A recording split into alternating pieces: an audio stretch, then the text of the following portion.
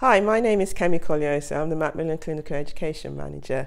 And if I was to give one top tip for advanced care planning, is that to remember that if you're thinking it, then your family are thinking it as well. So it's always helpful to just get these things out in the open. Talk to your family, tell them what you want, um, because at the end of the day, it's about your life and your wishes. So just go for it.